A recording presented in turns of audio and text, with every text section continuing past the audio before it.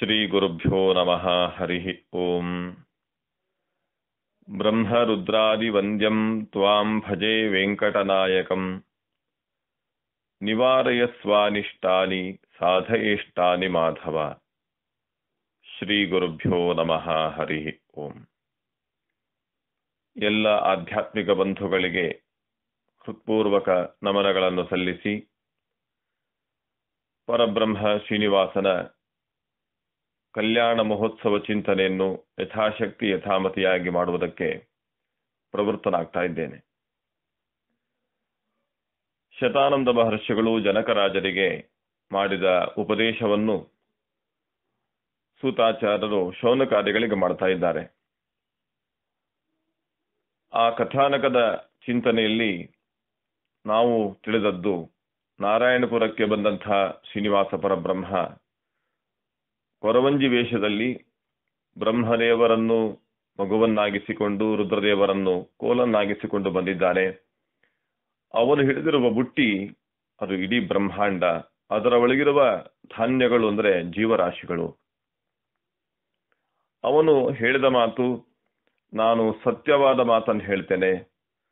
ನನ್ನ ಮಾತು ಸುಳ್ಳಾದರೆ ನನ್ನನ್ನ ದೇಹ ನಿಮ್ಮ ಪಟ್ಟಣದಿಂದ ಹೊರಗೆ ಹಾಕು, ನನ್ನ ಕೈಗಳನ್ನು ಕತ್ತರಿಸು ಅಂತ ದೇವರು ತನ್ನ ಮಾತಿನ ಮೇಲೆ ನಂಬಿಕೆ ಬರುವಂತೆ ಪ್ರಮಾಣ ಮಾಡಿ ಮಾತನಾಡ್ತಾ ಇದ್ದಾನೆ. ಧರ್ಮದೇವಿಯಾಗಿ ಬಂದಂತಹ ದೇವರು ಸ್ನಾನ ಗುರುದೇವತಾ ನಮಸ್ಕಾರ, ಹರಿಪ್ರಿಯವಾದ ಕರ್ಮಗಳನ್ನು ಮಾಡು ಅಂತ ಹೇಳಿ ಮತ್ತೆ ತನ್ನ ಮಗುವಿಗೆ ಅನ್ನವನ್ನ ಕೇಳಿದ. ಬ್ರಹ್ಮದೇವರು ಸ್ವೀಕಾರ ಮಾಡಲಿಲ್ಲ. ಕೊನೆಗೆ ತಾನೇ ಸ್ವೀಕಾರ ಮಾಡಿದ. ಈ ರೀತಿಯ ಕಥಾನಕಗಳನ್ನು ನಾವು ಕೇಳಿದ್ದೇವೆ. ಇದು ಯಾವ ರೀತಿಯ ಸಂದೇಶವನ್ನು ಕೊಡುತ್ತೆ ಅಂತ ನಾವು ಚಿಂತನೆ ಮಾಡಬೇಕಾಗಿದೆ. ಇದಕ್ಕೂ ಪೂರ್ವದಲ್ಲಿ ಒಂದು ಜಿಜ್ಞಾಸೆಯನ್ನ ನಮ್ಮ ಆಧ್ಯಾತ್ಮಿಕ ಬಂಧುಗಳಲ್ಲಿ ಒಬ್ಬರಾದಂತಹ ಕುಮಾರಿ ನಿಖಿಲ ಅನ್ನುವರು ಪ್ರಶ್ನೆ ಕೇಳಿದ್ದಾರೆ. ಅವರು ಕೇಳಿದ ಪ್ರಶ್ನೆ ಸುಂದರವಾಗೇ ಇದೆ. ಅಂದರೆ ಪ್ರಶ್ನೆ ಕೇಳುವುದರ ಹಿಂದೆ ಅವರ ಆಸಕ್ತಿ ಮತ್ತು ಈ ವಾಟ್ಸಪ್ ಮೂಲಕ ಬರುವಂತಹ ಪ್ರವಚನವನ್ನು ಕೇಳುವಾಗ ಸುಮ್ಮನೆ ಕೇಳಿ ಬಿಡುವಂತಹ ಪ್ರವೃತ್ತಿ ಇಲ್ಲ ಚಿಂತನ ಕ್ರಮ, ಜಿಜ್ಞಾಸ ಮನೋಭಾವ, ವಿಶೇಷವಾದ ಆಸಕ್ತಿ ವ್ಯಕ್ತವಾಗ್ತಾ ಇದೆ. ಅದಕ್ಕಾಗಿ ಅವರನ್ನು ಅಭಿನಂದಿಸ್ತೇನೆ ಅವರು ಈ ಪ್ರಶ್ನೆ ಕೇಳಿದ್ದಾರೆಂದ್ರೆ, ಪ್ರತಿಯೊಂದು ಪಾತ್ರವನ್ನು, ಪ್ರತಿಯೊಂದು ವಿಷಯವನ್ನು ಕೂಡ ನಾವು ಆಧ್ಯಾತ್ಮಿಕವಾಗಿ ಚಿಂತನೆ ಮಾಡ್ತಾ ಬಂದವರು ಶ್ರೀನಿವಾಸ ಪರಬ್ರಹ್ಮ ಕೊರವಂಜಿ ವೇಷವನ್ನು ಹಾಕಿಕೊಂಡು ಬಂದ ಕ್ರಮ ಅದು ವೇದಿವ್ಯಾಸ ದೇವರ ರೂಪವನ್ನ ಸಂಕೇತಿಸ್ತಾ ಇದೆ ಅದೇ ರೀತಿ ಬ್ರಹ್ಮದೇವರು ಅಂದ್ರೆ ಅವರು ಮಹಾಭಾರತವನ್ನ ಸಂಕೇತಿಸ್ತಾ ಇದ್ದಾರೆ ಹಾಗೆ ರುದ್ರದೇವರು ಕೋಲಿನ ರೂಪದಲ್ಲಿ ಬಂದಿದ್ದಾರೆ. ಕೋಲು ಯಾಕೆ? ಕೋಲಿನ ರೂಪದಲ್ಲೇ ಯಾಕೆ ಬರಬೇಕಾಗಿತ್ತು? ನಾವು ಯೋಚನೆ ಮಾಡಿದ್ದೇವೆ. ಮಹಾಭಾರತದ ಅಭಿಮಾನಿ ದೇವತೆಯಾಗಿರುವಂತಹ ಬ್ರಹ್ಮದೇವರು ವಾಯುದೇವರು ಭಗವಂತನ ಸೇವೆಗಾಗಿ ನಿರಂತರವಾಗಿರುವರು, ಶಿಶುರೂಪದಿಂದ ಬಂದಿದ್ದಾರೆ. ಉತ್ಕೃಷ್ಟತೆಯನ್ನ ತೋರಿಸುವ ಕ್ರಮದಲ್ಲಿ ಶಿಶುವನ್ನಾಗಿಸಿಕೊಂಡು ಬಂದ. ಮತ್ತೆ ರುದ್ರದೇವರನ್ನು ಕರ್ಕೊಂಡು ಬಂದದ್ದು ಕೋಲಿ ರೂಪದಲ್ಲೇ ಇರಲಿ. ಯಾಕೆ ರುದ್ರದೇವರು ಬೇಕು ಅಂದ್ರೆ ಅದು ಭಾಗವತದ ಸಂಕೇತವಾಗಿ ಅಂತ ನಾವು ಯೋಚನೆ ಮಾಡಿದ್ವಿ. ಭಾಗವತದ ಸಂಕೇತಕ್ಕಾಗಿ ಕೋಲನ್ನ ಕೋಲನ್ನು ಮಾಡಿಕೊಂಡು ಯಾಕೆ ಬರಬೇಕಾಗಿತ್ತು? ರುದ್ರದೇವರನ್ನು ಇನ್ನೊಂದು ಮಗುವನ್ನಾಗಿಸಿಕೊಂಡು ಬರುವುದಾಗಿತ್ತಲ್ವಾ? ಹೌದು. ಆದರೆ ಕೊರವಂಜಿ ವೇಷದ ಶ್ರೀನಿವಾಸ ಅವನು ತಾನು ಒಂದು ಕೋಲನ್ನ ಇಟ್ಟುಕೊಂಡು, ಮಗುವನ್ನ ಕಟ್ಟಿಕೊಂಡು, ತನ್ನ ಬುಟ್ಟಿಯನ್ನ ಇಟ್ಟುಕೊಂಡು ಬರ್ತಾ ಇದ್ದಾನೆ. ಇಲ್ಲಿ ಕೋಲು ರುದ್ರದೇವರು ಅಂತ ಹೇಳ್ತಿದ್ದೇವೆ. ರುದ್ರದೇವರು ಯಾವುದಕ್ಕೆ ಸಂಕೇತರಾಗಿದ್ದಾರೆ? ಭಾಗವತಕ್ಕೆ ಅಂತ. ಶುಕಾಚಾರದ ಮೂಲಕವಾಗಿ ಭಾಗವತ ಇಡೀ ಜಗತ್ತಲ್ಲಿ, ಪ್ರಪಂಚದಲ್ಲಿ, ಭೂಮಂಡಲದಲ್ಲಿ ವ್ಯಾಪಿಸುವಂತೆ ಭಗವಂತ ಮಾಡಿದ ಶುಕಾಚಾರರನ್ನೇ ಆಯ್ಕೆ ಮಾಡಿಕೊಂಡ ದೇವರು ಭಾಗವತದ ಪ್ರಸಾರಕ್ಕೋಸ್ಕರವಾಗಿ. ಶುಕಾಚಾರರು ಅಂದ್ರೆ ಸ್ವತಃ ರುದ್ರದೇವರು. ವಾಯುದೇವರಿಂದ ಕೂಡಿದಂತಹ ಶುಕಾಚಾರರು ರುದ್ರದೇವರ ಅವತಾರಿಗಳು. ಅವರನ್ನು ನಾವಿಲ್ಲಿ ನೋಡಬೇಕಾಗಿದೆ. ಆದರೆ ಕೋಲು ಯಾಕೆ ಅನ್ನೋ ಪ್ರಶ್ನೆ. ಆ ಜಡವಾದಂತಹ ಕೋಲು ಅಂತ ಅನಿಸಬಹುದು, ಆದರೆ ಆ ಕೋಲಿಗೂ ಅದ್ಭುತವಾದ ಅರ್ಥಗಳಿವೆ ಸಂಕೇತ ಇದೆ ಅಂತ ಭಾವಿಸ್ತೇನೆ ನಾನು. ಏನು ಅಂತಂದ್ರೆ, ಲೌಕಿಕವಾಗಿ ನೋಡೋಣ ಮೊದಲು. ದಂಡ ಅನ್ನೋದಿದೆಯಲ್ಲ, ಕೋಲು, ಅದು ಬಹಳ ಪರಿಣಾಮಕಾರಿ ಅಂತ ನಾವು ನೋಡಿದ್ದೇವೆ. ನಮ್ಮಲ್ಲಿ ಒಂದು ಸಹಜವಾದ ಒಂದು ರೂಢಿಯಲ್ಲಿ ನಗೆಚಾಟಿಗಾಗಿಯೋ ಸಹಜವಾಗಿರುವಂತಹ ಒಂದು ಮಾತಿದೆ, ದಂಡಂ ದಶಗುಣಂ ಭವೇತ್ ಅಂತ. ಅದಕ್ಕೆ ಅನೇಕ ಅರ್ಥಗಳಿವೆ ಅಂತ ಇಟ್ಕೊಳ್ಳೋಣ ಒಂದು ಕೋಲು ಅನೇಕ ರೀತಿಯ ಫಲಗಳನ್ನು ಕೊಡುತ್ತದೆ. ಅನೇಕ ರೀತಿಯ ಲಾಭವನ್ನು ನಾವು ಪಡೆಯಬಹುದು ಒಂದು ಕೋಲಿನಿಂದ, ದಂಡದಿಂದ ಅಂತ. ಲೌಕಿಕವಾಗಿ ಹೇಳ್ತಿರೋದಷ್ಟೇ ಇದು. ಅದು ಹೇಗೋ ಹಾಗೆ ದಿಗ್ದರ್ಶನ ಮಾಡಲಿಕ್ಕೋಸ್ಕರ ಕೋಲು ಬೇಕು. ಸಮಸ್ಯೆಯನ್ನು ಪರಿಹಾರ ಮಾಡಲಿಕ್ಕೆ ಕೋಲು ಬೇಕು. ಆಮೇಲೆ ಏನಾದರೂ ಎತ್ತರದ ಪದಾರ್ಥ ತಗೊಳ್ಳಿಕ್ಕೆ ಕೋಲು ಬೇಕು. ಜೊತೆಗೆ ನಮಗೆ ಆಧಾರಭೂತವಾಗಿ ನಡೀಲಿಕ್ಕೋ, ನಿಲ್ಲಿಕ್ಕೋ, ಆಧಾರಭೂತವಾಗಿ ಕೋಲಬೇಕು.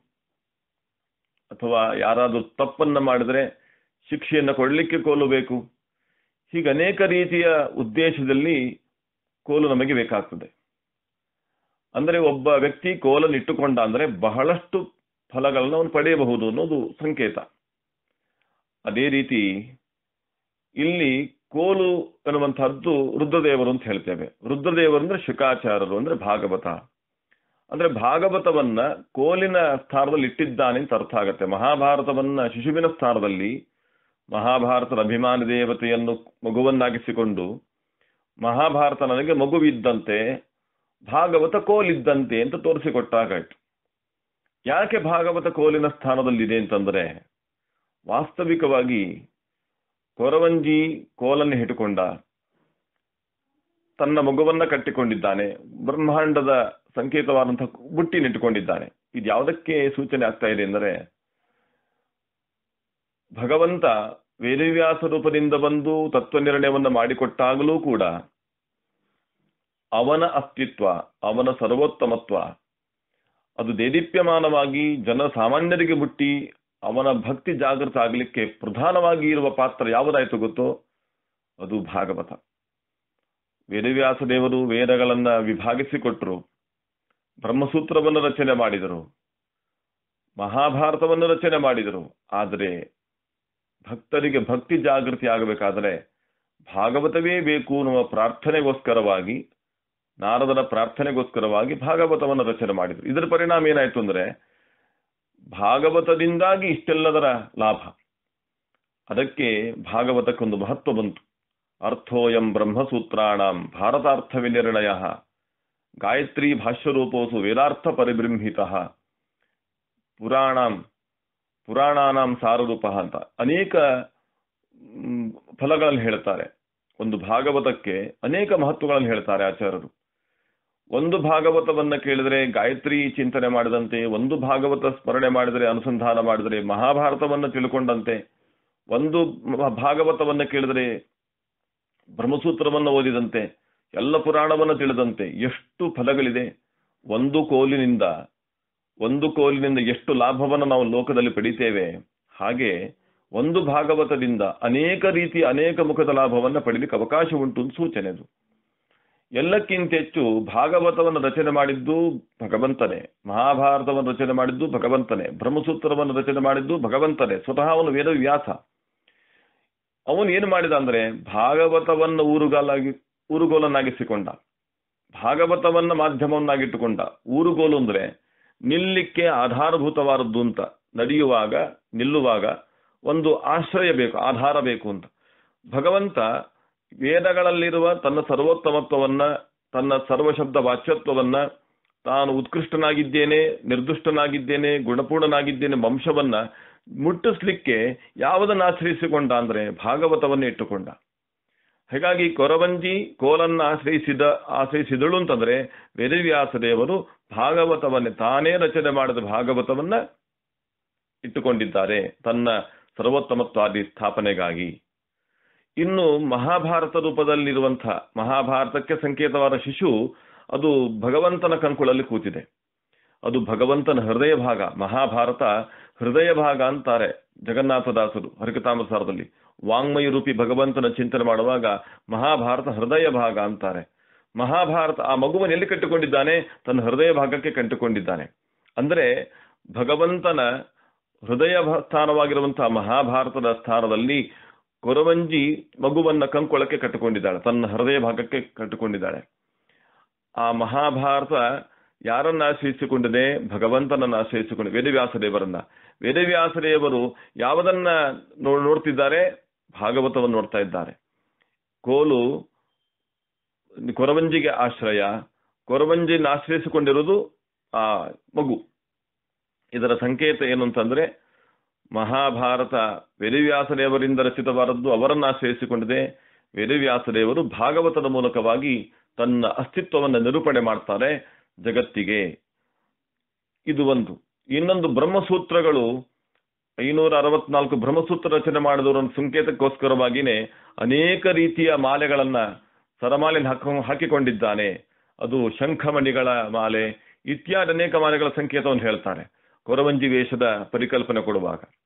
ಹೀಗೆ ಒಂದು, ಇನ್ನೊಂದು ಪ್ರಧಾನವಾಗಿ ಆ ಬುಟ್ಟಿಯನ್ನು ತಾನು ಹೊತ್ತುಕೊಂಡಿದ್ದಾನೆ ದೇವರು. ಬ್ರಹ್ಮಾಂಡವನ್ನು ಹೊತ್ತ ಭಗವಂತ ಭಾಗವತವನ್ನು ಆಶ್ರಯಿಸಿದ್ದಾನೆಂದ್ರೆ ಭಾಗವತವನ್ನು ಆಶ್ರಯಿಸಿಕೊಂಡೇ ಬ್ರಹ್ಮಾಂಡ ಇದೆ ಅಂತ ತೀರ್ಮಾನ ಆಯಿತು. ಎಲ್ಲ ಜೀವರಾಶಿಗಳು ಭಾಗವತವನ್ನು ಆಶ್ರಯಿಸಿಕೊಂಡಿದ್ದಾರೆ. ಬ್ರಹ್ಮಾಂಡವನ್ನು ಹೊತ್ತವನು ಭಗವಂತನೇ, ಅವನ ಅಸ್ತಿತ್ವ ಗೊತ್ತಾಗುವುದು ಭಾಗವತದ ಮೂಲಕವೇ.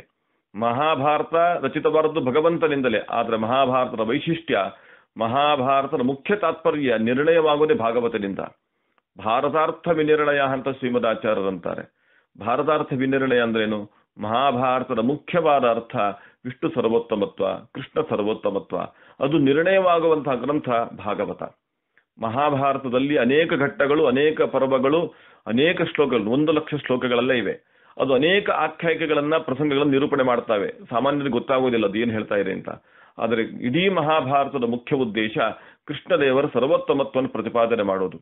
ಅದು ಸ್ಪಷ್ಟವಾಗಿ ಕಾಣುವುದು, ಅದು ಭಕ್ತರ ಪ್ರಾರ್ಥನೆಯಲ್ಲೋ, ಭಕ್ತರ ಮಾತಿನಲ್ಲೋ ದೇಶಗಳ ಪ್ರಾರ್ಥನೆಯಲ್ಲೋ ದೇಶಗಳ ಭಾವನೆಯಲ್ಲೋ, ಮಾತಿನಲ್ಲೋ, ಅಧ್ಯಾಯ ಅಧ್ಯಾಯ, ಪದ, ಪದಗಳಲ್ಲಿ, ಸ್ಕಂದ ಸ್ಕಂದಗಳಲ್ಲಿ ವಿಷ್ಣುವಿನ ಸರ್ವೋತ್ತಮತ್ವ ಸ್ಪಷ್ಟವಾಗಿ ಗೊತ್ತಾಗುವುದು ಭಾಗವತದಲ್ಲಿ. ಹೀಗಾಗಿ ಭಾರತಾರ್ಥ ವಿನಿರ್ಣಯ. ಭಾರತ ಮಹಾಭಾರತದ ಅರ್ಥ, ಮುಖ್ಯ ತಾತ್ಪರ್ಯಭೂತವಾದ ಅರ್ಥ ಯಾವುದು? ವಿಷ್ಣು ಸರ್ವೋತ್ತಮತ್ವ. ಆ ವಿಷ್ಣು ಸರ್ವೋತ್ತಮತ್ವ ನಿರ್ಣಯ ಮಾಡುವಂತಹ ಗ್ರಂಥ ಯಾವುದು ಅಂದ್ರೆ ಭಾಗವತ. ಹಾಗಾದರೆ ಮಗು ಹೇಗೆ ಕೊರವಂಜಿಯ ಮೂಲಕವಾಗಿ ಕೋಲನ್ನು ಆಶ್ರಯಿಸದಂತಾಯಿತೋ, ಹಾಗೆ ಮಹಾಭಾರತವು ಕೂಡ ಭಾಗವತವನ್ನ ನೋಡ್ತಾ ಇದೆ, ತನ್ನ ಮುಖ್ಯ ಉದ್ದೇಶವನ್ನ ಈಡೇರಿಸುವಂತೆ ನೋಡ್ತಾ ಇದೆ ಅಂತಾಯ್ತು. ಬ್ರಹ್ಮಾಂಡ ಬ್ರಹ್ಮಾಂಡ ಅಂತರ್ಗತ ಜೀವರು ಭಾಗವತವನ್ನು ಆಶ್ರಯಿಸಬೇಕು. ಬುಟ್ಟಿ ಬುಟ್ಟಿ ಒಳಗಿರುವಂತಹ ನ- ಧಾನ್ಯಗಳು ಹೇಗೆ ಕೊರವಂಜಿಯ ತಲೆ ಮೇಲೆ ಉಂಟೋ ಅದೇ ರೀತಿ ಎಲ್ಲ ಜೀವರಾಶಿಗಳು ಭಗವಂತನ ಆಶ್ರಯದಲ್ಲಿದ್ದರೂ ಕೂಡ ತಾವು ಅಸ್ತಿತ್ವವನ್ನು ಪಡೆದು, ಅಸ್ತಿತ್ವವನ್ನ ಪಡೆದದ್ದನ್ನ ತಿಳುಕೊಂಡು ಸಾಧನೆ ಮಾಡಿ ಭಗವಂತನ ಅನುಗ್ರಹ ಪಡಿಬೇಕಾದ, ಸಾರ್ಥಕರಾಗಬೇಕಾದರೆ ಭಾಗವತವನ್ನೇ ಆಶ್ರಯಿಸಬೇಕು. ಹಾಗೆ ಭಗವಂತನ ಸರ್ವೋತ್ತಮತ್ವ ಸ್ಪಷ್ಟವಾಗಿ ಗೊತ್ತಾಗಬೇಕಾದರೆ ಭಾಗವತವೇ ಬೇಕು. ಮಹಾಭಾರತದ ಸ್ಪಷ್ಟ ಜ್ಞಾನ ಆಗಬೇಕಾದ್ರೆ ಭಾಗವತ ಬೇಕು. ಹೀಗೆ ಎಲ್ಲದಕ್ಕೂ ಭಾಗವತ ಬೇಕು ಅನ್ನುವುದು ನಮಗೆ ಗೊತ್ತಾಗ್ತಾ ಇದೆ. ಪರಿಣಾಮವಾಗಿ ಅದನ್ನು ಸೂಚನೆ ಮಾಡ್ತಾರೆ ಏನಂತ, ಕೋಲನ್ನ ಹಿಡ್ಕೊಂಡ ಕೊರವಂಜಿ, ಕೊರವಂಜಿನ ಆಶ್ರಯಿಸಿದಂತಹ ಮಗು ಮಗುವಿನ ಜೊತೆಗೆ ಭಗವಂತನ ಕೊರವಂಜಿ ತಲೆ ಮೇಲೆ ಒಂದು ಬುಟ್ಟಿ ಬುಟ್ಟಿಯೊಳಗೆ ಜೀವ ಎಲ್ಲ ಧಾನ್ಯಗಳು ಅಂತ. ಈ ಚಿತ್ರ ಎಲ್ಲವನ್ನ ಆಶ್ರಯಿಸುವುದು ಭಾಗವತವನ್ನೇ. ಪ್ರತಿಯೊಬ್ಬರು ಭಾಗವತದ ಮೂಲಕವೇ ಸಾಧನೆ ಮಾಡಬೇಕಾಗಿದೆ ಭಗವಂತ ತನ್ನ ಪರಿಚಯವನ್ನ ಭಾಗವತದ ಮೂಲಕವೇ ಮಾಡಬೇಕು. ಸಾಧಕರು ಭಾಗವತವನ್ನು ಇಟ್ಟುಕೊಂಡೇ ಸಾಧನೆ ಮಾಡಬೇಕು. ಎರಡು ರೀತಿಯ ಫಲವನ್ನ ಅಲ್ಲಿ ಭಾಗವತದ ಮೂಲಕ ತೋರಿಸುವ ಕ್ರಮದಲ್ಲಿ ದಂಡವನ್ನು ಇಟ್ಟುಕೊಂಡಿದ್ದಾನೆ ದೇವರು. ದಂಡ ಹೇಗೆ ಎಲ್ಲ ರೀತಿಯ ಫಲವನ್ನು ಕೊಡುತ್ತೋ ಆ ರೀತಿಯಲ್ಲಿ. ಇದು ಒಂದು ರೀತಿಯ ಚಿಂತನೆ. ಇನ್ನೊಂದೇನು ಅಂತಂದ್ರೆ, ದಂಡ ಅದು ದಿಗ್ದರ್ಶಕ. ಸಾಧನೆಗೆ ಪೂರಕವಾದದ್ದು ಜೀವನ ಸಾಧನೆಗೂ ಮತ್ತು ಮೋಕ್ಷ ಸಾಧನೆಗೂ ಕೂಡ ಪೂರಕವಾದ ಅಂಶವನ್ನ ಭಾಗವತ ಕೊಡ್ತಾ ಇದೆ. ಆ ದಿಗ್ದರ್ಶಕವಾದ ದಂಡ ಹೇಗೋ ಹಾಗೆ ಭಾಗವತ ಮೋಕ್ಷ ಸಾಧಕ ಮತ್ತು ಜೀವನ ಸಾಧಕವಾದಂತಹ ಗ್ರಂಥ. ನಾವು ಜೀವನವನ್ನು ಹೇಗೆ ಮಾಡಬೇಕು ಅಂತ ಕೇಳಿದ್ರೆ ಭಾಗವತ ಉತ್ತರ ಕೊಡುತ್ತೆ. ಮೋಕ್ಷ ಸಾಧನೆ ಹೇಗೆ ಮಾಡಬೇಕು ಅಂತ ಕೇಳಿದ್ರೆ ಭಾಗವತ ಉತ್ತರ ಕೊಡುತ್ತೆ. ಹೀಗಾಗಿ ಎಲ್ಲ ದೃಷ್ಟಿಕೋನದಲ್ಲಿ ಅಲ್ಲಿ ಕೋಲನ್ನು ಹಿಡ್ಕೊಂಡು ಭಗವಂತ ಬಂದಿದ್ದಾನೆ ಅಂತ ನಾವು ಭಾವಿಸಬಹುದು. ಈ ರೀತಿಯ ಅನುಸಂಧಾನವನ್ನ ಮಾಡಲಿಕ್ಕೆ ಭಗವಂತ ಪ್ರಚೋದನೆ ಮಾಡಿದ್ದಾನೆ. ಭಗವಂತನ ಪ್ರಚೋದನೆಯಂತೆ ಸ್ಫೂರ್ತಿ ಕೊಟ್ಟವರು ಪ್ರಶ್ನೆ ಕೇಳುವುದರ ಮೂಲಕ ಕುಮಾರಿ ನಿಖಿಲ ಅವರು ಅವರಿಗೆ ಹೃತ್ಪೂರ್ವಕವಾದ ಅಭಿನಂದನೆಯನ್ನ ಸಲ್ಲಿಸ್ತಾ, ಮತ್ತೆ ಇನ್ನೊಂದು ಅದ್ಭುತವಾದ ಮಾತನ್ನ ಭಗವಂತ ಹೇಳಿದ ನೆನೆಸ್ಕೋಬೇಕು ನಾವಿಲ್ಲಿ. ಕೊರವಂಜಿ ಹೇಳಿದ ಮಾತೇನು? ನಾನು ಸತ್ಯವಾದ ಮಾತನ್ನಾಡ್ತೇನೆ. ನಾನು ಸತ್ಯವಾದ ಮಾತನ್ನೇ ಆಡ್ತೇನೆ. ಮಯಾ ಹಿ ಗದಿತಂ ವಾಕ್ಯಂ ಅಸತ್ಯಂ ಚೇನ್ ಮನಸ್ವಿನಿ. ಪುರಾತ ನಿಷ್ಕಾಸ್ಯ ಮಾಂ ದೇವಿ ಛೇದನಂ ಕರೆಯೋ ಕುರು. ಅಂತ ಹೇಳುವುದರ ಮೂಲಕ ನಾನು ಸತ್ಯವಾದ ಮಾತನ್ನಾಡ್ತೇನೆ ಅಕಸ್ಮಾತ್ತಾಗಿ ನಾನು ಮಾಡಿದ ಮಾತು ಸತ್ಯ ಆಗದೇ ಇದ್ರೆ ಸುಳ್ಳಾದರೆ ನನ್ನನ್ನ ನೀನು ಓಡಿಸು, ನನ್ನ ಕರೆಗಳನ್ನು ಕತ್ತರಿಸು ಅಂತ ಕೊರವಂಜಿ ಹೇಳ್ತಾಳೆ. ಕೊರವಂಜಿ ಈ ಹೇಳೋ ಮಾತು ಉದ್ದೇಶ ಅಂದ್ರೆ ನನ್ನ ಮಾತು ಸತ್ಯವೇ. ನಾನು ಖಚಿತವಾಗಿ ಹೇಳ್ತಾ ಇದ್ದೇನೆ, ಸಂದೇಹ ಇಲ್ಲ ಅನ್ನೋ ದೃಷ್ಟಿಯಿಂದ ಹೇಳುವಂತಹ ಮಾತು. ಎರಡೂ ಕೈಗಳನ್ನು ಕತ್ತರಿಸು ಅಂತ ಹೇಳ್ತಾನೆ. ಅದನ್ನ ಯಾಕೆ ಹೇಳಬೇಕು? ಹೇಳುವುದಕ್ಕೂ ಕೈಗನ್ನು ಕತ್ತರಿಸೋದಕ್ಕೂ ಏನು ಸಂಬಂಧ? ಸಂಬಂಧ ಏನಿಲ್ಲ. ಆದರೆ ಖಚಿತತೆಯನ್ನು ಪ್ರತಿಪಾದನೆ ಮಾಡುವಂಥದ್ದು ಕೈಗಳು. ಯಾವುದೇ ಒಂದು ವಿಷಯವನ್ನ, ಸಿದ್ಧಾಂತವನ್ನ ಸ್ಥಾಪನೆ ಮಾಡುವಾಗ, ಮನದಟ್ಟು ಮಾಡುವಾಗ ಕೈಗಳನ್ನ ನಾವು ತಗೊಳ್ತೇವೆ. ಕೈಯನ್ನ ಮೇಲಕ್ಕೆ ಎತ್ತಿ ನಾವು ಘೋಷಣೆ ಮಾಡ್ತೇವೆ, ಸಮರ್ಥನೆ ಮಾಡ್ತೇವೆ. ಯಾವುದೇ ಮಾತನ್ನ ಪ್ರತಿಪಾದನೆ ಮಾಡುವಾಗ ಕೈ ಮೇಲಕ್ಕೆ ಬರ್ತವೆ. ಅದು ಆ ವಿಷಯ ನಮಗೆ ಬೇಕಾಗಿರುವುದು ಒಂದು ಗೊತ್ತಾಗುವಾಗ, ಅದನ್ನು ಗೊತ್ತಾಗಿಸುವ ಕ್ರಮದಲ್ಲಿ ನಾವು ಪ್ರವೃತ್ತಿ ಮಾಡುವಾಗ, ಅಂದ್ರೆ ಇನ್ನೊಬ್ಬರಿಗೆ ಗೊತ್ತಾಗಬೇಕು ಅಂತ ಹೇಳುವಾಗ ಕೈಯನ್ನು ಮೇಲಕ್ಕೆತ್ತುತ್ತೇವೆ ಅದು ಲೌಕಿಕವಾಗಿರ್ಬೋದು, ಶಾಸ್ತ್ರೀಯವಾಗಿರ್ಬೋದು. ಕೈಯನ್ನು ಮೇಲಕ್ಕೆತ್ತಿ, ಎರಡೂ ಕೈಗಳನ್ನು ಮೇಲಕ್ಕೆತ್ತಿ ಇದು ನಮಗೆ ತುಂಬಾ ಇಷ್ಟವಾದದ್ದು, ಇದು ಒಪ್ಪಬೇಕಾದದ್ದು ಅಂತ ನಾವು ಘೋಷಣೆ ಮಾಡ್ತೇವೆ. ಇದು ಸಹಜವಾದದ್ದು ಇದು ಅದನ್ನ ಆ ಕೈಗೆ ಅಷ್ಟು ಮಹತ್ವ ಇದೆ. ಅಂದ್ರೆ ಕೈಯ ಮೂಲಕವಾಗಿ ವಿಷಯದ ಸರ್ವೋತ್ಕೃಷ್ಟತೆಯನ್ನ ಪ್ರತಿಪಾದನೆ ಮಾಡುವ, ಅಂದ್ರೆ ಅದರ ಪ್ರಾಮಾಣ್ಯವನ್ನ ಪ್ರತಿಪಾದನೆ ಮಾಡುವ ಕ್ರಮ ನಮ್ಮಲ್ಲಿದೆ. ಅದನ್ನು ದೇವರು ಹೇಳ್ತಾನೆ, ನಾನು ಸುಳ್ಳು ಹೇಳೋದಿಲ್ಲ. ಸುಳ್ಳು ಹೇಳಿದ್ರೆ ಸರ್ವೋತ್ಕೃಷ್ಟತೆಯನ್ನ, ಪ್ರಾಮಾಣ್ಯವನ್ನು ಪ್ರತಿಪಾದನೆ ಮಾಡುವ ಕೈಯನ್ನು ಇಲ್ಲ ಅಂತ ಮಾಡು. ಅಂದ್ರೆ ಅದು ಆಗೋದಿಲ್ಲ ಅಂತ ಅರ್ಥ. ಸತ್ಯವನ್ನು ಹೇಳುವುದರಿಂದ ಸರ್ವೋತ್ಕೃಷ್ಟತೆಯನ್ನ ಕೈಗಳು ತೋರಿಸ್ತಾವೆ, ಪ್ರಾಮಾಣ್ಯವನ್ನು ಪ್ರತಿಪಾದನೆ ಮಾಡ್ತಾವೆ ಅಂತ ಸೂಚನೆ ಕೊಡ್ತಾ ಇದ್ದಾನೆ. ಇದು ಯಾವುದರ ಸಂಕೇತ ಆಗಿದೆ ಗೊತ್ತಾ? ನಿಜವಾಗಿ ಆಶ್ಚರ್ಯ ಸಂತ, ಆಶ್ಚರ್ಯ ಆಗುತ್ತೆ, ಸಂತೋಷ ಆಗುತ್ತೆ. ವೇದವ್ಯಾಸದೇವರು ಈ ಮಾತನ್ನು ಹೇಳ್ತಾರೆ. ಸತ್ಯಂ ಸತ್ಯಂ ಪುನಃ ಸತ್ಯಂ ಉದ್ಧೃತ್ಯ ಭುಜಮುಚ್ಚತೆ, ವೇದಶಾಸ್ತ್ರಾತ್ ಪರಂ ನಾಸ್ತಿ, ನ ದೈವಂ ಕೇಶವಾತ್ ಪರಂ. ವೇದವ್ಯಾಸದೇವರು ಘಂಟಾಘೋಷವಾಗಿ ಹೇಳುವ ಮಾತು, ತನ್ನ ಅಸ್ತಿತ್ವವನ್ನ, ತನ್ನ ಸರ್ವೋತ್ತಮತ್ವವನ್ನ ಸ್ವತಃ ತಾನೇ ಪ್ರತಿಪಾದನೆ ಮಾಡ್ತಾರೆ. ಹೇಗೆ ಹೇಳ್ತಾರೆ? ಎರಡೂ ಕೈಗಳನ್ನು ಮೇಲಕ್ಕೆತ್ತಿ. ಉದ್ಧತ್ಯ ಭುಜ ಮುಚ್ಚದೆ. ಎರಡೂ ಭುಜಗಳನ್ನು ಮೇಲಕ್ಕೆತ್ತಿ ಹೇಳ್ತೇನೆ ನಾನು. ಎಂತ ಸತ್ಯಂ ಸತ್ಯಂ, ಪುನಃ ಸತ್ಯಂ. ನ, ಈ ಮಾತು ಸತ್ಯ, ಈ ಮಾತು ಸತ್ಯ, ಈ ಮಾತು ಸತ್ಯ. ಯಾವುದು? ಕೇಶವನಿಂದ ಮಿಗಿಲಾದಂಥ ದೇವತೆ ಇಲ್ಲ, ವೇದಕ್ಕಿಂತ ಉತ್ತಮ ಶಾಸ್ತ್ರ ಇಲ್ಲ. ವೇದಶಾಸ್ತ್ರಾತ್ ಪರಂ ನಾಸ್ತಿ. ವೇದಶಾಸ್ತ್ರಕ್ಕಿಂತ ಮಿಗಿಲಾದ ಒಂದು ಶಾಸ್ತ್ರ ಇಲ್ಲ. ಮತ್ತು ಕೇಶವನಿಗಿಂತ ಭಿನ್ನವಾದಂಥ, ಕೇಶವನಿಗಿಂತ ಮಿಗಿಲಾದಂತಹ ಒಬ್ಬ ದೇವತೆ ಇಲ್ಲ ಅಂತ ಘೋಷಣೆ ಮಾಡ್ತಾರೆ ವೇದವ್ಯಾಸ ದೇವರು ತನ್ನ ವಿಶೇಷವಾದ ಉತ್ಕೃಷ್ಟತೆಯನ್ನ ವೇದವ್ಯಾಸ ದೇವರು ಪ್ರತಿಪಾದನೆ ಮಾಡ್ತಾರೆ. ಅಂದ್ರೆ ಪ್ರಾಮಾಣ್ಯ ಬುದ್ಧಿ ಬರಲಿ. ವೇದವ್ಯಾಸ್ತಿಯವರು ಹೇಳ್ತಾರೆ ನಿಜ. ಎರಡೂ ಕೈಗಳನ್ನ ಮೇಲಕ್ಕೆತ್ತಿ ಹೇಳ್ತಾ ಇದ್ದೇನೆ ನಾನು, ಇದು ಖಚಿತವಾರದು ಅಂತಂದಾಗ ಓ ಇರಬೇಕು ಅಂತ ನಾವು ಅವತ್ತನ್ನು ಒಪ್ತೇವೆ. ಸಹಜವಾಗಿ ಸ್ವೀಕಾರ ಮಾಡ್ತೇವೆ. ಹಾಗೆ ವೇದವ್ಯಾಸರೇವರು ಹೇಗೆ ತನ್ನ ಎರಡೂ ಭುಜಗಳನ್ನು ಮೇಲಕ್ಕೆತ್ತಿ ತನ್ನ ವಾಕ್ಯದ, ತನ್ನ ಗ್ರಂಥದ ವಿಶೇಷವಾದ ತಾತ್ಪರ್ಯವನ್ನ ಪ್ರಮಾಣ ಅಂತ ಹೇಗೆ ಪ್ರತಿಪಾದನೆ ಮಾಡಿದರೋ, ಅದೇ ಕ್ರಮದಲ್ಲೇ ಆ ವೇದವ್ಯಾಸ ರೂಪದ ಪರಿಕಲ್ಪನೆ ಬರುವಂತನೆ ಇಲ್ಲಿ ಕೊರಬಂಚಿ ಮಾಡುವ ಕೆಲಸ ಏನಂದ್ರೆ, ಎರಡೂ ಕೈಗಳನ್ನ ಸಾರ್ಥಕವಾಗಿಸಿ ತೋರಿಸ್ಕೊಡ್ತೇನೆ ನಾನು, ನನ್ನ ಮಾತು ಸತ್ಯ ಅಂತ. ಅಲ್ಲಿ ಒಂದು ರೀತಿ ಪಾಸಿಟಿವ್ ಆಗಿದೆ, ಇಲ್ಲಿ ನೆಗೆಟಿವ್ ಆಗಿದೆ ಅಷ್ಟೇ. ಅಂದ್ರೆ ಸುಳ್ಳು ಹೇಳಿದರೆ ಕೈಯನ್ನು ಕತ್ತರಿಸುವ ಕ್ರಮದಲ್ಲಿ. ಕತ್ತರಿಸುವುದಿಲ್ಲ, ಯಾಕೆ? ಸತ್ಯ ಆಗಿರುವುದರಿಂದ. ಹೀಗೆ ವೇದವ್ಯಾಸ ದೇವರ ಪಾತ್ರಕ್ಕೆ ಹತ್ತಿರ ಆಗುವಂತೆ ಕೊರವಂಜಿಯ ಮಾತುಗಳು ನಮಗೆ ಸ್ಪಷ್ಟವಾಗ್ತಾ ಬರ್ತವೆ ಇನ್ನೊಂದು ಅದ್ಭುತವಾದದ್ದು ಅಂತಂದ್ರೆ ಅಲ್ಲಿ ವೇದವ್ಯಾಸರು ಹೇಳುವ ಮಾತೇನು? ವೇರಶಾಸ್ತ್ರಾತ್ ಪರಂ ನಾಸ್ತಿ ನದೈವಂ ಕೇಶವಾತ್ ಪರಂ ವೇರಶಾಸ್ತ್ರಕ್ಕಿಂತ ಮಿಗಿಲಾದ ಒಂದು ಶಾಸ್ತ್ರ ಇಲ್ಲ.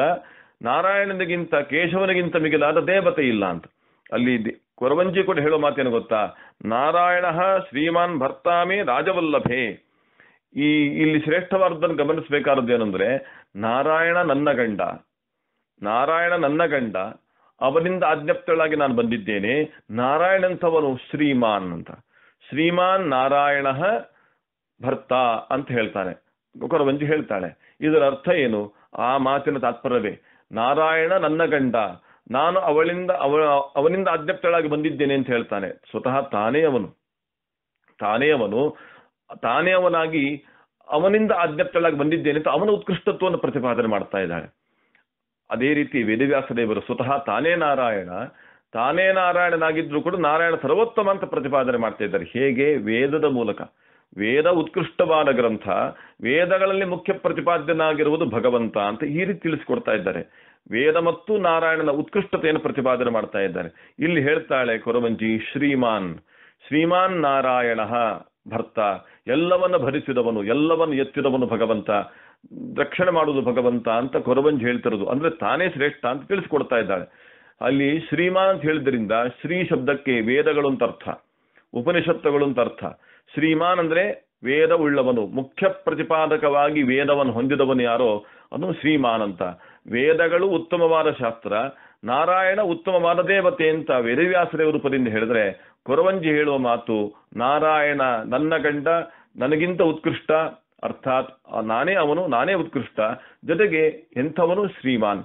ವೇದವಂತನಾದ ಶ್ರೀಮಂತಿಕೆ, ವೇದ ಎನ್ನುವಂತಹ ಶ್ರೀಮಂತಿಕೆಯನ್ನು ಹೊಂದಿದಂತಹ ನಾರಾಯಣ ಶ್ರೇಷ್ಠ ಅಂತ ವೇದವ್ಯಾಸದೇವರ ಮಾತಿಗೂ, ಕೊರವಂಜಿಯ ಮಾತಿಗೂ ಸಮಾಖ್ಯ ರೂಪದಲ್ಲಿ ನೋಡ್ಲಿಕ್ಕೆ ಅವಕಾಶ ಇದೆ. ಹೀಗೆ ಭಗವಂತ ತನ್ನ ಕೊರವಂಜಿ ವೇಷವನ್ನು ಹಾಕಿಕೊಂಡು ಬಂದು ತನ್ನ ಮಗು, ತನ್ನ ಕೋಲು ಎಲ್ಲದರ ಮೂಲಕ ನಮಗೆ ತಿಳಿಸಿಕೊಡ್ತಾನೆ. ನೀವು ಭಾಗವತವನ್ನೇ ಆಶ್ರಯಿಸಿ. ನಿಲ್ಲಬೇಕಾದ್ರೆ, ನಡೀಬೇಕಾದ್ರೆ ಭಾಗವತ ಬೇಕು. ಯಾವುದೇ ವ್ಯಕ್ತಿ ನಿಲ್ಲಬೇಕಾದ ಕೊರವಂಜಿ ನಿಲ್ಲುವಾಗಲೂ ಕೋಲು ಇಟ್ಕೊಳ್ತಿದ್ಲು ನಡೆಯಬೇಕಾದ್ರೆ ಕೋಲು ಇಟ್ಕೊಳ್ತಿದ್ಲು. ಕೋಲು ಯಾಕೆ ಅಂದ್ರೆ ನಿಜ, ಒಬ್ಬ ವ್ಯಕ್ತಿ ಸಾಧನೆ ಮಾಡಬೇಕಾದ್ರೆ ಅವನಿಗೆ ಕೋಲು ಬೇಕು ಅಂತೇವೆ, ನಡಿಬೇಕಾದ್ರೂ ಕೋಲು ಬೇಕು ಅಂತ. ಭಗವಂತನಿಗೆ ಬೇಕಾಗಿಲ್ಲ. ಸಾಧನೆ ಮಾಡುವ ನಮ್ಮಂತ ತಿಳಿಸಿಕೊಡ್ತಾನೆ. ನೋಡಿ, ಈ ಭಾಗವತವನ್ನ ಕೇಳಿ. ಈ ಭಾಗವತದ ಮೂಲಕ ಮಾಡಿ. ಸಾಮಾನ್ಯವಾಗಿ ಪಾಠಶಾಲೆಯಲ್ಲಿ ಮಕ್ಕಳಿಗೆ ಅಧ್ಯಾಪಕರು ಅಧ್ಯಾಪಕಿಯರು ಏನ್ ಮಾಡ್ತಾರೆ? ಕೋಲನ್ನು ಹಿಡ್ಕೊಂಡು ಪಾಠ ಮಾಡ್ತಾ ಇರ್ತಾರೆ. ಯಾಕೆಂದ್ರೆ ಮಕ್ಕಳ ಏಕಾಗ್ರತೆಯನ್ನ ತಮ್ಮ ಕಡೆ ಸೆಳೀಲಿಕ್ಕೆ ಕೋಲು ಅವರಿಗೆ ಮಾಧ್ಯಮ ಆಗುತ್ತೆ. ಕೋಲು ಪ್ರಧಾನವಾಗಿರುತ್ತೆ. ಯಾಕೆ? ಕೋಲನ್ನ ನೋಡ್ತಾ, ಕೋಲನ್ನು ತೋರಿಸ್ತಾ ತೋರಿಸ್ತಾ ಮಕ್ಕಳ ದೃಷ್ಟಿಯನ್ನ ತಮ್ಮ ಕಡೆ ಸೆಳೆದುಕೊಂಡು ಮತ್ತೆ ಪಾಠವನ್ನು ಮಾಡುವ ಪದ್ಧತಿ. ಹೊಡಿಲಿಕ್ಕೋಸ್ಕರ ಮಾತ್ರ ಅಲ್ಲ, ಏಕಾಗ್ರತೆಯನ್ನ ಒಂದು ಕಡೆ ನಿಲ್ಲಿಸ್ಲಿಕ್ಕೋಸ್ಕರವಾಗಿ ತಮ್ಮ ಕಡೆ ಸೆಳೆಯಲಿಕ್ಕೋಸ್ಕರವಾಗಿ ಪಾಠದ ಏಕಾಗ್ರತೆ ಬರಲಿ ಅನ್ನೋ ದೃಷ್ಟಿಯಿಂದ ಮಕ್ಕಳಿಗೆ ಕೋಲನ್ನು ತೋರಿಸ್ತಾರೆ. ಹಾಗೆ ಭಗವಂತ ಎಲ್ಲ ಮಕ್ಕಳ, ಎಲ್ಲ ಜೀವರಾಶಿಗಳ ಸಾಧನೆ ಮಾಡುವಾಗ ಏಕಾಗ್ರತೆ ಬೇಕು, ಎಲ್ಲಿ ಬೇಕು ತನ್ನಲ್ಲೇ ಬೇಕು. ತಾನು ಹೇಳುವ ವಿಷಯದಲ್ಲಿ ಏಕಾಗ್ರತೆ ಬೇಕು. ಹೀಗಾಗಿ ಭಾಗವತದ ಮೂಲಕ ಏಕಾಗ್ರತೆ ಬರುತ್ತೆ, ಭಾಗವತದ ಮೂಲಕ ಸಾಧನೆ ಆಗುತ್ತೆ ದೃಷ್ಟಿಯಿಂದ ಭಾಗವತವನ್ನೇ ಮುಂದಿಟ್ಟುಕೊಂಡು ಕೋಲನ್ನು ತೋರಿಸ್ತಾ ಅಂದ್ರೆ ಭಾಗವತವನ್ನು ತೋರಿಸ್ತಾ ಭಗವಂತ ಸಾಧನೆಗೆ ಮಾರ್ಗದರ್ಶನವನ್ನು ಮಾಡ್ತಿದ್ದಾನೆ ಎಂಬ ಅನುಸಂಧಾನವನ್ನು ಮಾಡೋಣ. ಇನ್ನೂ ಸ್ನಾನ ಅದರ ಚಿಂತನೆ ಮಾಡಬೇಕಾಗಿದೆ. ಸ್ನಾನ ಮಾಡಲೇಬೇಕು. ಅಂತಸ್ನಾನ, ಬಹಿಸ್ನಾನ ಖಂಡಿತವಾಗಿ ಮಾಡಬೇಕಾದದ್ದಿದೆ. ಇಲ್ಲಿ ಪ್ರಧಾನವಾದ ಒಂದು ಅಂಶ ನೆನ್- ನೆನೆಸೋಣ ಇವತ್ತು. ಗುರುದೇವ ನಮಸ್ಕಾರಂ ಕುರುದೇವಿ ಹರಿಪ್ರಿಯಂ ಅಂತ. ಧರಣಿ ದೇವಿ ಆಕಾಶರಾಜರು ತಮ್ಮ ಮಗಳನ್ನ ಪದ್ಮಾವತಿಗೆ ಕೊಡುವುದಕ್ಕೆ ಸಿದ್ಧರಾಗಿದ್ದಾರೆ ಈಗ. ನಾವು ಗಮನಿಸಬೇಕಾದದ್ದು. ಪದ್ಮಾವತಿ ದೇವಿಯರನ್ನ ಭಗವಂತನಿಗೆ ಅರ್ಪಿಸ್ಲಿಕ್ಕೆ ತಯಾರಾಗಿದ್ದಾರೆ. ಪದ್ಮಾವತಿ ಅಂದ್ರೆ ವೇದಗಳು ಅಂತ ಅರ್ಥ ಮಾಡಿದ್ದೇವೆ ನಾವು. ಪದ್ಮಾವತಿ ಇನ್ನೊಂದಕ್ಕೂ ಸಂಕೇತವಾಗ್ತಾರೆ ನೋಡೋಣ ಮುಂದೆ. ಪದ್ಮಾವತಿ ಅಂದ್ರೆ ವೇದಗಳು. ವೇದಗಳನ್ನ ಭಗವಂತನಿಗೆ ಅರ್ಪಿಸಬೇಕು, ಅರ್ಥ ಸಮನ್ವಯ ಮಾಡಬೇಕು ಅಂತ ಸಾಧಕರು ಹೊರಟಿದ್ದಾರೆ. ಯಾರು ಆಕಾಶ ರಾಜ ಧರಣಿ ದೇವಿ ಅಂದ್ರೆ ಅವರಿಬ್ರು ಜೀವರು ಅಂತ. ಒಬ್ಬ ಜೀವ ತನ್ನ ಮಗಳನ್ನ, ವೇದಗಳನ್ನ ಭಗವಂತನಿಗೆ ಅರ್ಪಿಸಬೇಕು ಅಂತ ಹೊರಡುತ್ತಾರೆ ಹೊರಡುವಾಗ ದೇವರು ಹೇಳಿದ, ಮೊದಲು ಶುಚಿರ್ಭೂತನಾಗು. ಅಂತಸ್ನಾನ ಬಹಿಸ್ನಾನಗಳಿಂದಲೇ ಶುಚಿರ್ಭೂತನಾಗು. ಜೊತೆಗೆ ಗುರುದೇವ ನಮಸ್ಕಾರಂ ಕುರು. ಹರಿಪ್ರಿಯಂ, ಭಗವಂತನಿಗೆ ಇಷ್ಟವಾದ ಕರ್ಮಗಳನ್ನ ಮಾಡು. ಅಲ್ಲಿ ಗುರುದೇವತಾ ನಮಸ್ಕಾರ ಅಂತ. ಗುರುದೇವತಾ ನಮಸ್ಕಾರ ಯಾಕೆ ಮಾಡಬೇಕು ಅನ್ನೋ ಪ್ರಶ್ನೆ. ಅಲ್ವಾ? ಕೊರವಂಜಿ ಹೇಳ್ತಾಳೆ, ಗುರುದೇವ ನಮಸ್ಕಾರಂ ಕುರು ಅಂತ. ತಂತ್ರಸಾರದಲ್ಲಿ ಶ್ರೀಮದಾಚಾರ್ಯ ಹೇಳುವ ಮಾತು ನೆನಪಾಗುತ್ತೆ. ಸ್ಮೃತ್ವಾ ಗುರುಂ, ಪೂರ್ವ ಗುರುಂ ಆದಿ ಮೂಲ ಗುರುಂಸ್ತಥಾ ದೇವತಾಂ ವಾಸುದೇವಂಚ ವಿದ್ಯಾಭ್ಯಾಸೀತು ಸಿದ್ಧಿವಾಕ್ ಅಂತ ಆಚಾರ್ಯರು ಹೇಳ್ತಾರೆ. ಒಬ್ಬ ವ್ಯಕ್ತಿ ತತ್ವಜ್ಞಾನವನ್ನು ಪಡೆಯಬೇಕು ಶಾಸ್ತ್ರಾಧ್ಯಯನವನ್ನು ಮಾಡಬೇಕು, ಏನಾದರೂ ಉತ್ತಮ ಸಾಧನೆ ಮಾಡಬೇಕು ಅಂತ ಹೊರಟ್ರೆ ಅವನು ಮೊದಲು ಏನು ಮಾಡಬೇಕು ಅಂತಂದ್ರೆ, ಸ್ಮೃತ್ವಾ ಗುರುಂ, ತನ್ನ ಗುರುವನ್ನು ನೆನೆಸ್ಕೋಬೇಕಂತೆ, ಮೊದಲು ಶ್ರೀ ಗುರುಭ್ಯೋ ನಮಃ ಅಂತ ಅನ್ಬೇಕಂತೆ. ಶ್ರೀ ಗುರುಭ್ಯೋ ನಮಃ ಅಂತ ಅನ್ನದೇ ನಮ್ಮ ಪ್ರವೃತ್ತಿ ಮಾಡಿದ್ರೆ ಸಿದ್ಧಿ ಇರುವುದಿಲ್ಲ. ಇಲ್ಲ ಲೌಕಿಕವಾಗಿ ಎಷ್ಟೋ ಜನ ಮಾಡ್ತಾರಲ್ಲ, ಏನೋ ಅವರೆಲ್ಲ ಯಶಸ್ಸನ್ನು ಪಡಿತಾರಲ್ಲ. ಯಶಸ್ಸು ಲೌಕಿಕವಾಗಿ. ಭಗವಂತನಿಗೆ ಪ್ರೀತಕರ ಆಗಲ್ಲ. ಅದಕ್ಕೆ ಹೇಳಿದ್ದು, ಹರಿಪ್ರಿಯಂ ಅಂತ. ಭಗವಂತನಿಗೆ ಇಷ್ಟವಾಗುವ ರೀತಿಯಲ್ಲಿ ಆಗಲಿ.